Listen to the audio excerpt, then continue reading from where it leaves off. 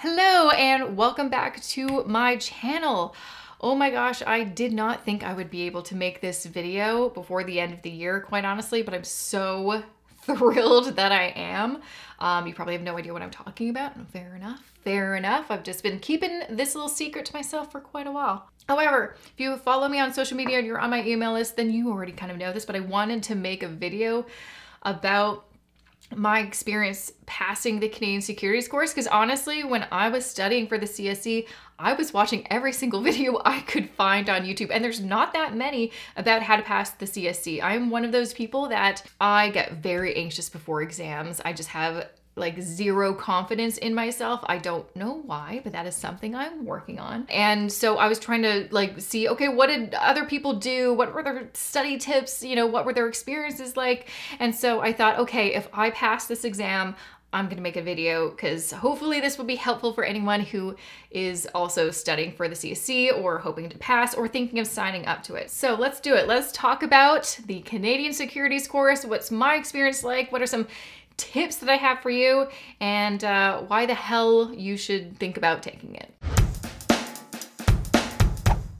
So let me kind of give you uh, some context and background uh, of what my experience was. So I started studying uh, at the end of July and I took the first exam, volume one, this little guy, fun, uh, in mid-September, and then I took the second exam in mid-October.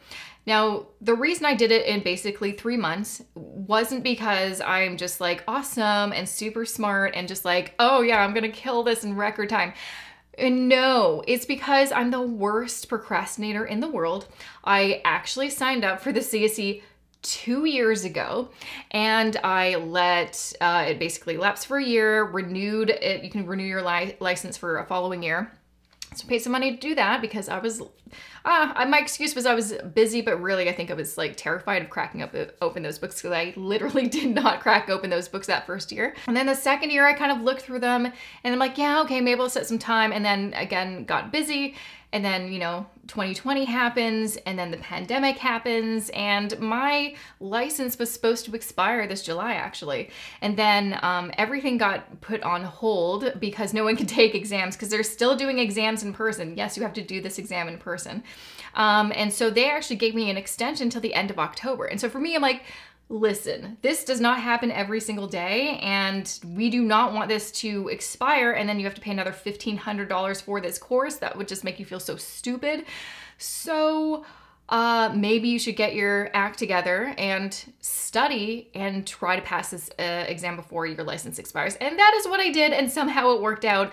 I don't know. So the first kind of tip I would say, give yourself plenty of time to study. Three months, in my opinion, is is not enough time. Like I was able to go through, like I read both textbooks twice, yes, twice, and made a crazy amount of note cards, which I will show you. Here we go. Note cards. These are the note cards I took. That, look at this. Oh my God, is this the same size as my head? It's almost the size of my head. That is not okay. That is not Okay. Anyways, so I took it in three months because I basically gave myself an impossible deadline and somehow I survived it. In my opinion, a better time frame would be six months, maybe nine months. 12 months I kind of feel like is too long. You're gonna, you're just gonna get lazy and you're gonna do what I did, which is procrastinate until the last minute. So give yourself a good amount of time, but not too much time that you will procrastinate. So in terms of what did what was my study plan exactly? Um, okay, so this is another thing that I would suggest that you do. Uh, do not don't follow what I did. Um, so I read the first textbook in about two weeks, um, read the second textbook, volume two, in two weeks, and then went back to volume one and studied until I had to take the exam, and then went back to volume two and did uh, that exam. So um, the reason I wouldn't do that is um, you really should just focus on one volume at a time. There is so much information, and quite honestly, I found volume one more difficult than volume two. Um, it, when you're trying to absorb two textbooks, um, at the same time, it just gets kind of overwhelming and you're gonna miss something. So my opinion, focus on volume one, take the exam, then start studying for volume two. Don't do what I did. I just I I don't know why I did it. I it just wasn't a good plan, but here we are. We passed. It's fine. Everything's fine. Another suggestion, this is something that I did do right, was don't cheap out. If you're going to cheap out on something in life, maybe not on an exam that you hope to pass to help your career. Just a thought. So I opted for the most expensive package because there's a couple of different packages you can sign up for. So I got the uh, Canadian Securities Course Value Pack combo, which is it's a lot of money. It's a lot of money. But the reason I wanted that is because, um, well, you get the textbooks first off, but you also uh, get practice exams for uh, both volumes. And also, which I found like the, the most important part was you get a bunch of videos. Now, they're not glamorous videos. They're not, they're not super exciting. It's really just a voiceover and a whiteboard. But I found them super helpful because I'm someone who is very visual when it comes to learning. So I love a reading, but sometimes there are certain concepts where I just, it just wouldn't it wouldn't get in there. It just wouldn't stick in there. And then I'd watch some of the videos and I'd be like, oh my God, oh, I get it now. So I want to talk about, because I feel like this is something that I kept on trying to find the answer to, what sections should I really focus on? Like, what are kind of the things that I really should spend my time memorizing and studying? So for volume one, it was very clear fixed income. So, and I hate, I, I hated those sections. I hate fixed income so much and I didn't think it, I had no problem with it before volume one. But yeah, it really sucked. I didn't enjoy it. So it's really um in volume one, chapters six and seven, fixed income securities, features and types, and fixed income securities pricing and trading. You will not only have to understand the concepts, but you'll need to know the formulas. And yes, you have to memorize those formulas because um, you will be presented with questions being like, what is the answer to this? And you'll have to do the math, which I hate. Like as someone who works in personal finance, I actually hate math. I just don't enjoy it. It doesn't make me happy. But you gotta do what you gotta do to get this uh, certificate. So you're gonna have to really focus on those sections. Also, I found um, like chapters one, two, and three, the Canadian Marketplace, super easy.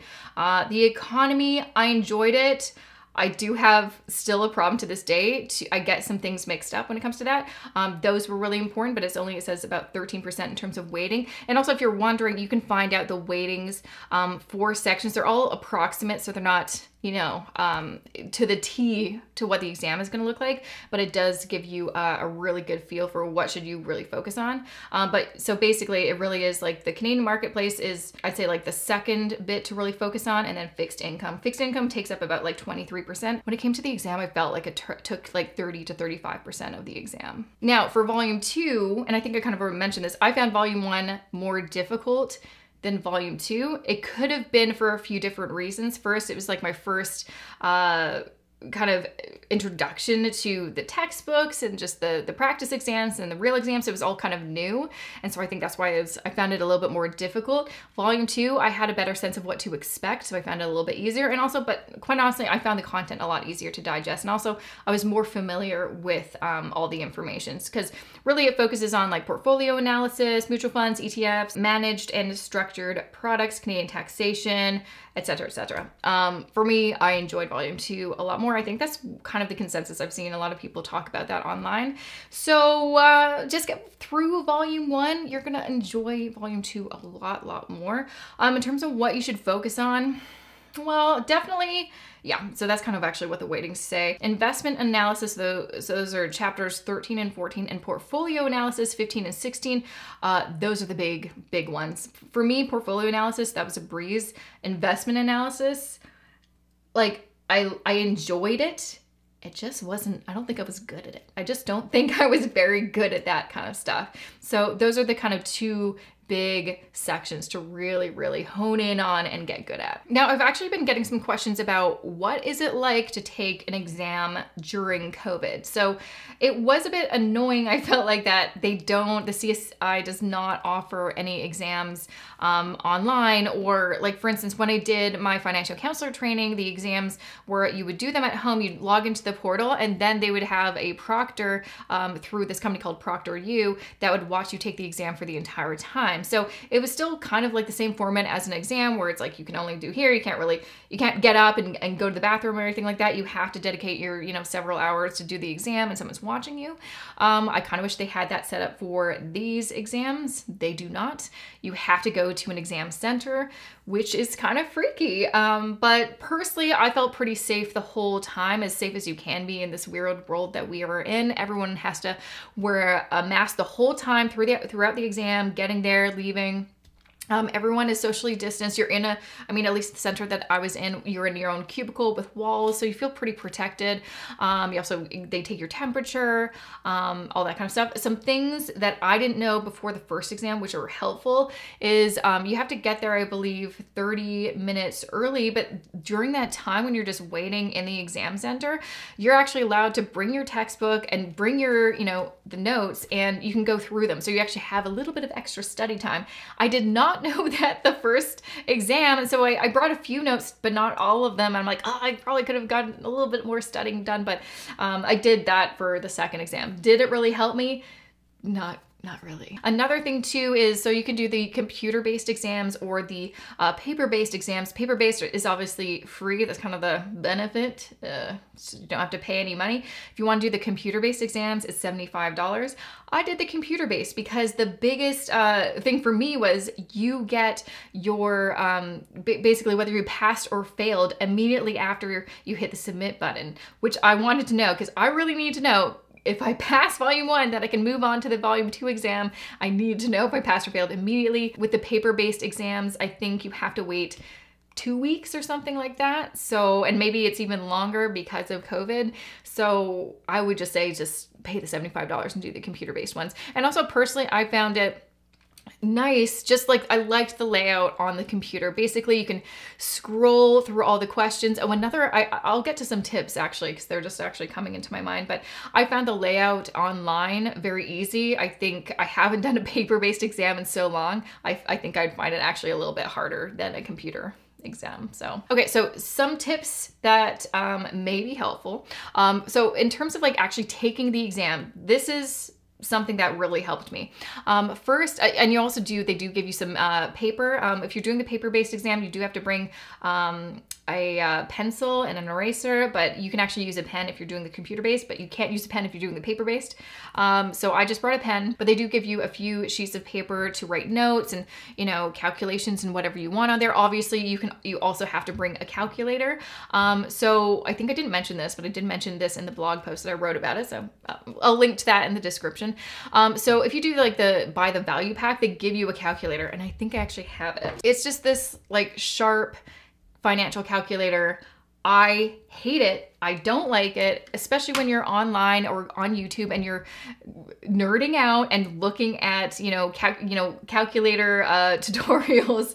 Nothing, I didn't find anything with this particular calculator. So I did spring for the Texas Instruments one, which I'm so glad I did. Do I have it here? Okay, so I have no idea where my Texas Instruments uh, calculator is. I'll pop a picture of what it looks like. Now that's gonna bug me for the rest of this video that I don't know where that calculator is because I need it because I have more exams to take. Anyways, highly recommend, don't use this free calculator they give you. It's kind of a piece of crap. Um, just spring for the Texas Instruments one. Because uh, also in the videos that um, you get access to in the value pack, he shows you a bunch of tutorials on how to use it for some bond calculations and he uses the Texas Instruments ones, not this. So yeah, just pay the money, get the better calculator. Oh yeah, so what I wanted to share was when you are doing the exam, one thing I found very helpful was when you um, basically are presented with the exam, I think sometimes we, we automatically think that we should start at the beginning. I don't like doing that. Basically, when you're studying, you know the sections that you're good at, right? So what is helpful is the exam is, uh, you know, structured in, it goes from, you know, chapter one all the way to 12. So it is linear, which is very helpful. So you can easily go through all the questions and figure out what sections are where and then just answer what you know and then spend the rest of the exam trying to figure out the answers for all the things that you know you're not as strong at. So that is what I did. And typically, usually I work from the back forward. Um, and also during the computer exam, there's a way where you can select an answer, but it's you don't submit. It's not your like final answer. It's kind of like pending or like maybe, and then you can kind of spend some time at the end and actually really go through all your maybes to be like, mm, do I really want to say yes, this is it, or should I choose a different answer? So uh, definitely do that. Another thing I found helpful, especially when you have the scrap paper, is when you do have a question and there's a couple, you're like, you know, you get kind of not focused when you're in the exam because you think of all the different things that you need to know and it gets, it's very, you know, there's a lot of anxiety in the room. Um, what I found very helpful was taking the scrap paper, looking at the question, writing on the paper A, B, C, D, so all the different um, uh, answers, potential answers, and then going through every one of those answers and crossing off definitely not, definitely not. There's usually two definitely nots. And then usually you have like, well, the answer could be uh, B or D. And then really just focusing on the language of those two. And that kind of helps you because I feel like sometimes we know the answer is between only, uh, you know, this one and this one, but we get really distracted by those other ones. So I, I just find that like is a very easy thing. Just cross out the ones that are definitely no's and then just really focus on those two potential answers and then really remember that you're choosing the best answer. And sometimes that means rereading the question. Um, sometimes i especially in the practice exams i saw this and i was able to find out what i did wrong. I would answer a, a question wrong that i actually did know the right answer to because i didn't really read the question how it meant the question to be, if that makes sense. So take your time. And also, too, you have two hours. Take the full two hours for the first exam. I definitely took the full two hours. I was getting some looks from the proctor being like, why got like 10 minutes left? I'm like, I'm taking my time. But for the volume two, um, I felt a little bit more comfortable. So I only took an hour and a half. Um, but in terms of my grade, I did like, lit- I literally got one percentage point higher in the second exam compared to the first exam. So I don't know what that means, but doesn't matter. Passed, and that is what matters in the end. So, you may be wondering, why did you take the Canadian Securities course? Are you going to become an investment advisor? I got a lot of questions like that um, on Twitter and Instagram, and my answer is hell to the no. I will never become an investment advisor. I will never work for a financial institution and sell investment or financial products. Not my jam. I like to talk about money. I like to create content about it. I don't like, I don't want to sell you mutual funds. Like, that's just not Get, it's not going to happen. It's not going to happen. So you may be wondering then why did you take it? Because that is pretty much the course that most people do if you do the CSC, typically it is in order to become a mutual fund rep or an investment advisor. And, and that's fine. I'm not bashing that. It's just not for me. Uh, it's not my path. I mean, I mean, it really isn't my path. I kind of uh, walked into this world of personal finance not because oh I want to work in financial services. I I did this. I started as a hobby blogger and now I'm just a content creator somehow. Um, so for me I really just uh, signed up for it because I want to, you know, just gain more knowledge, but also pretty much every money expert or financial planner or journalist that I know, they have taken the CSC. And it's it was a little FOMO and kind of like, well, if they did it, maybe I should probably do it. That being said, um, I didn't necessarily have like, okay, well, after the CSC, I'm gonna do more education. I kind of thought once I do that, check that off my list, and then I'm good. And of course, what did I do? Like literally two days after passing the exam, I signed up for Financial Planning One, and then I kind of declared on social media, I'm gonna study to become a CFP. I don't know why I did that, um, but put it out there and now I can't take it back, and that's that's what I'm gonna do. And part of it is like I just want to continue learning, and I actually really like oddly enough, traditional education when it comes to um, personal finance and financial planning, and I just want to get better at what I do. So that's what I'm doing. But uh, here's a few other things that you may want to look at. So number one, you can become a personal financial planner, a PFP. Um, now it depends on what circles you're in. Um, in general, most average people don't know what the hell a PFP is um, because typically it is a you know someone who works in financial services. They're a banker. Um, they want to be an investment advisor and have that on top of uh, other you know uh, credentials. Um, so you can become a PFP if you work in, you know, banking or anything like that. That might actually help you in your career. So the Canadian Securities course, that is a foundational course. I'll kind of show you um, here a graphic of the. This is the kind of different paths or different routes you can take using the CSC as a foundational course to get to the PFP. Another route, especially if you want to get more into that portfolio manager or advising rep or, or, or whatever kind of path, again, you can use the CSC as a foundational course um, for a couple different routes um, to become a chartered investment manager, a CIM. You can also do this thing called the MTI Estate and Trust professional. So this, it's not really a foundational course because it's something that you apparently take at the end. Um, but yeah, if you want to take that designation for your career, um, you will need the CSC. And finally, um, for me, I'm gonna try to do the CFP. You can also try to do the QAFP and use this as a foundational course. I was considering doing the QAFP just because it seemed a little bit easier, but then I'm kind of like, again, the, the reason I kind of want to pursue the CFP is because it is a globally recognized designation. Um, part of the kind of annoying thing of me and my current designation, which is Accredited Financial Counselor Canada, is no one has heard of it besides people that already have it, or, you know, some people in the financial sphere know about it. It's, it's more popular in the States. It's called the AFC in the States. Um, but yeah, most people don't really know much about the program. It's a great program, um, but yeah, there's not a lot of awareness to it. CFP, everyone knows what the CFP is. So that is kind of why I'm thinking of doing that instead of the QAFP because no one knows what QAFP is. If you talk to someone and they're like, I'm looking for a financial planner, they'll know CFP. That's, you know, um, a well-known, you know, recognized designation. With that, there are a couple routes you can take. I've decided to take uh, stream number one. So as you can see from this graphic here, there are quite a few courses I have to do. I have got my work cut out for me. I will say though, having done the CSC, I feel so like more confident and just I don't know. I, am actually really glad I took the CSC. I learned a lot. There's a lot I already knew, but there's a lot of stuff I didn't or I just you know needed some more information. Um, so I found it actually very helpful. So to kind of uh, leave you with some final thoughts, one thing I, I did find helpful, as I kind of mentioned, was looking online and, and seeing what other people's experiences were. One thing I didn't find very helpful were people saying, "Oh, it's easy. You're gonna be fine.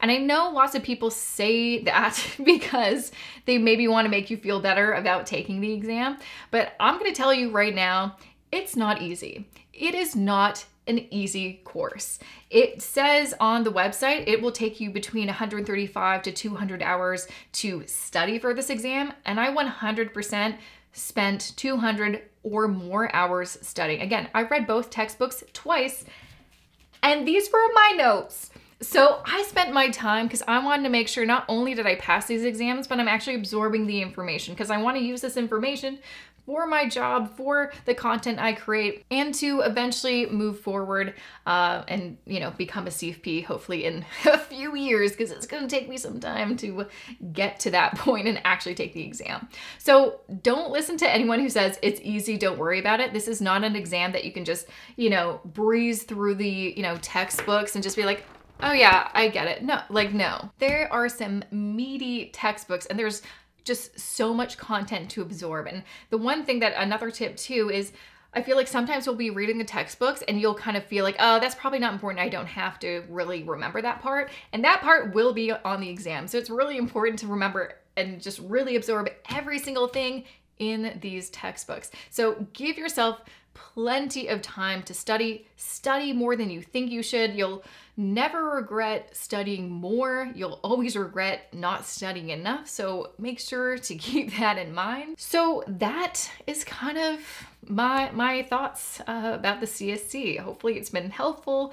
Um, let me know what you think. If you have any questions about the CSC, let me know because I feel like I feel like it's still very, you know, in my mind because I passed uh, the exams recently. So uh, let me know what you think in the comments. And if you like this video, make sure to like it. And if you wouldn't mind, please subscribe to my channel. Uh, but that is it for me. Thanks so much for watching my video about the Canadian Securities course. Uh, I'll be back uh, very soon with another video. Thanks so much.